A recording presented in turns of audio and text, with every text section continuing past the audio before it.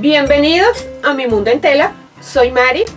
En esta sección de Entre tú y yo, más detalles, hoy les hablo de las pulgadas.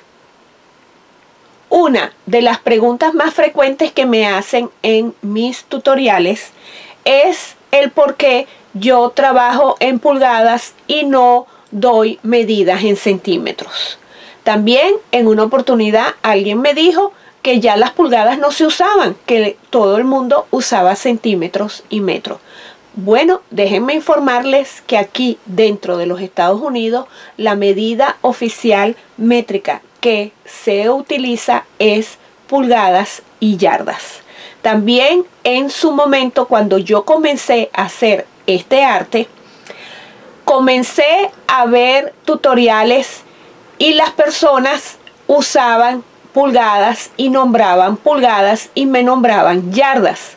Luego, cuando tuve la oportunidad de obtener mi primera regla con mi primer mat, también me llegaron en pulgadas.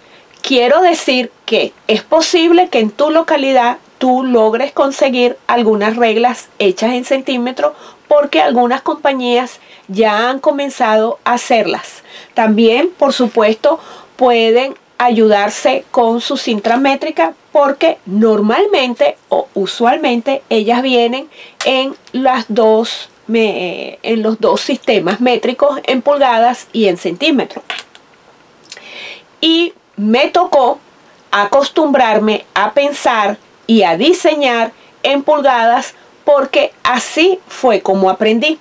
Entonces si tú me estás viendo y eh, eh, todavía no posees ninguno de estos materiales que ayudan a facilitar el trabajo de patchwork y quilting, entonces es posible que la información que voy a dar hoy te va a ayudar a poder transformar todas mis medidas en centímetros.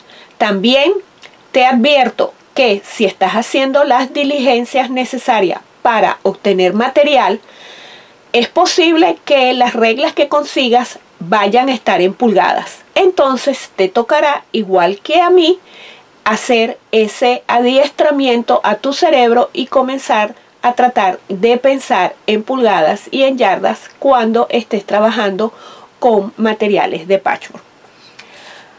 Una pulgada es igual a 2.54 centímetros. Esta es la medida exacta, la conversión exacta de lo que equivale una pulgada.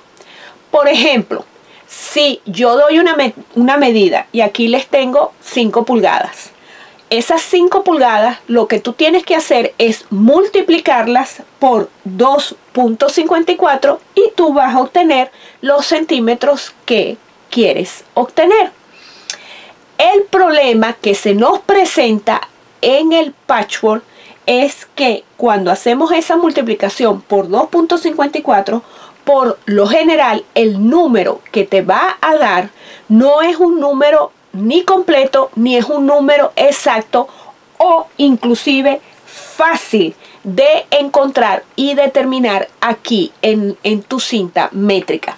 Entonces, para evitar los milímetros, que es mi opinión, son prácticamente imposible calcularlos para lograr cortes precisos, muchas personas multiplican por números enteros, como decir 2 o por 3.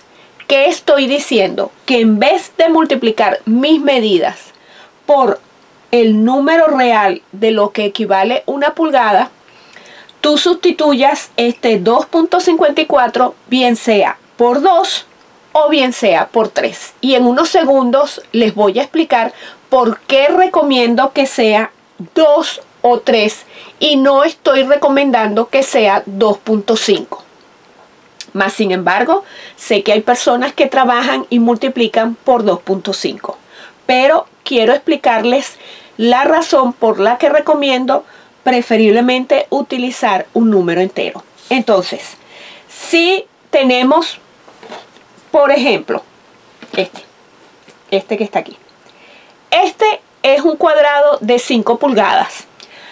una medida muy popular dentro de mis patrones, inclusive dentro del mundo de patchwork quilting. Si multiplicamos 5 y utilizamos el número 2 como serían por 2 centímetros, me va a dar 10 centímetros.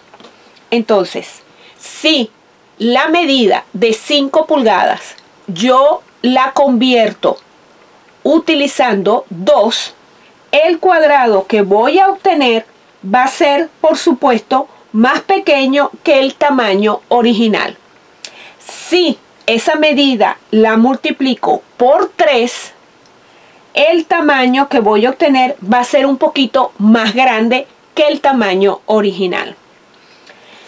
Y en este caso, con la medida de 5, si en vez de utilizar 2 o 3, tú quieres utilizar 2.5, el resultado va a ser bastante exacto porque vas a tener 12 centímetros y medio. O sea, vas a, como decir, vas a convertir, en vez de cortar 5 pulgadas por 5 pulgadas, vas a cortar un cuadrado de 12 pulgadas y media por 12 pulgadas y media. Y siendo la medida media, es muchísimo más fácil y más rápido identificarla bien en tu cinta métrica o en alguna regla común que tengamos, como las reglas que utilizan nuestros hijos en la escuela, que vienen en centímetros. Va a ser fácil para ti ubicar esta medida. Y quizás alguien dice, es casi bastante exacta, es la ideal para entonces hacer todos los cálculos y las transformaciones. Pero el detalle es que la mayoría de las medidas en pulgadas, como una pulgada está fácil, se divide entre cuatro, es por eso que cuando digo medidas, muchas veces nombro un cuarto, nombro media y nombro tres cuartos.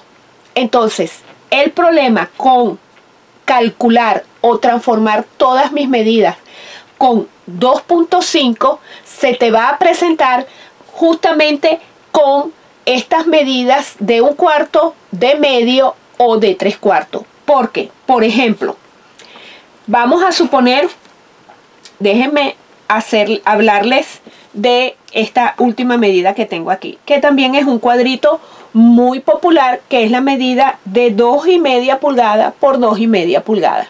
Si tú multiplicas 2 y media pulgada por 2 te va a dar 5 centímetros. Por supuesto, el cuadrito de 5 por 5 va a ser más pequeño o si esa medida de 2 y medio la multiplicas por 2 te va a dar 7 y medio de centímetros. Es fácil identificarlo, es fácil poderlo trazar con la diferencia que en vez de ser el cuadro más pequeño, el cuadro va a ser más grande. Si tú multiplicas esta medida de 2,5 por 2,5, te va a dar, el resultado te va a dar 6.25 centímetros. Entonces, el punto 25 es una medida más complicada para saber exactamente dónde va a estar en el centímetro, entonces lo que normalmente muchas personas hacen es que redondean este número, bien sea al número siguiente o al mismo número entero. Por ejemplo, si aquí me dio 6.25, entonces el redondeo sería a 6 centímetros. Por ejemplo, en, el, en la medida de 2 y un cuarto se me va a presentar el mismo problema si multiplico por 2.5 porque el resultado es 5.62 entonces las personas que utilizan este 2.5 les toca bien sea o redondear hasta el 6 o quitarlo y redondearlo a 5.5 el problema que yo veo de hacer este redondeo es que el patchwork se caracteriza porque sus piezas deben ser exactas y que cuando uno termine de unir todos las diferentes, los diferentes componentes o diferentes piezas, todas en sí deben encajar para entonces formar el, como decir, el dibujo o el diseño que hayamos o que queramos obtener. Cuando estén haciendo este redondeo, va a haber una diferencia muy pequeña, pero que al final te va a afectar con el tamaño de las diferentes piezas y es posible que luego al final no encaje una encima o una después de la otra. Por esta razón, yo personalmente les voy a aconsejar que si tú insistes en cambiar mis medidas a centímetros, entonces decidas utilizar el número completo 2 o el número completo 3. Eso sí, ¿cuál va a ser la gran diferencia? Es que si multiplicas por 2, tu proyecto o tu bloque va a ser más pequeño que el mío. Si tú multiplicas por 3, tu proyecto o tu bloque va a ser más grande. La ventaja de multiplicar por 2 o por 3 es que cualquiera sean mis medidas, los números que te van a dar en centímetros van a ser más exactos, más precisos y todo va a coincidir y todo va a estar proporcional que cuando tú comiences a coser tus piezas no va a haber diferencia de tamaño. Y termino con explicarle lo del el ancho de costura y aquí voy a acercar la cámara y como pueden apreciar hay dos costuras, una está en rojo y otra está en negro. La roja es exactamente el un cuarto de ancho de pulgada. La negra es medio centímetro. Y sé que muchas personas que a veces trabajan o transforman las medidas de pulgada a centímetro cuando yo les hablo del ancho de costura, automáticamente van y cosen a medio centímetro. Y fíjense que si tú multiplicas un cuarto de pulgada por 2, te va a dar 0.5 centímetros.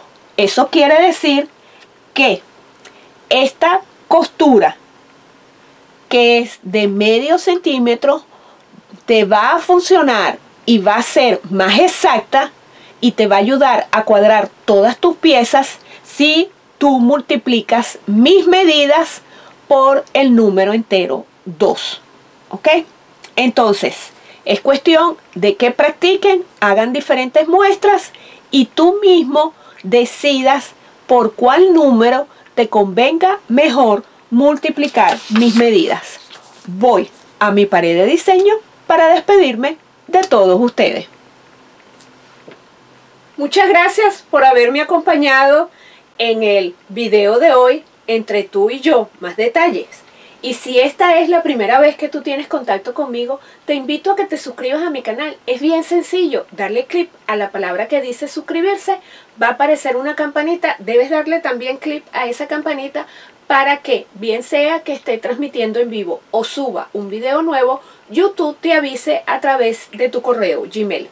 También estoy a la orden, aquí debajo aparecerán mis redes sociales y si este pequeño video te ha sido útil, por favor no olvides darle clic al dedito hacia arriba y también donde dice compartir. Van a aparecer diferentes redes sociales que si le das clic a alguna de ellas, entonces podrás legalmente compartir mis videos, mis tutoriales con tus amigos, con tu familia.